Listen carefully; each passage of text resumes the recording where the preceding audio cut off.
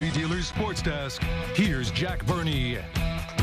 Good evening, everybody, and welcome back. A big-time matchup over at Bob Warren Field as the MVC leading Indiana State Sycamores welcomed in second place Southern Illinois. ISU looking to extend their winning streak to 12 wins in a row. Let's take you there. Matt Jachec got the ball for ISU in this one. Here he gets a strikeout to end the first. Matt went six innings in this one with six strikeouts for the Sycamores. Bottom first, Sycamores jump out to an early lead as Luis Hernandez sends this one deep to right, and it's out of here for a solo home run, opposite field home run. His third home homer of the year makes it 1-0 ISU. In this one, Sycamore's off to a great start at the plate, and that great start will continue a little bit later. Seth Gurgley's going to step up to the plate, and he hits this one out to center, and it is going to get over the trees for a two-run blast. There you get a look at Gurgley. He hits that one deep to center. The wind blows it out of here over those trees. Gurgley's fourth of the year gives the Sycamores a 3-0 lead in this one, but the Salukis would come back. They get two runs in the third to make it 3-2, but Gurgley would come through a little bit later once again again.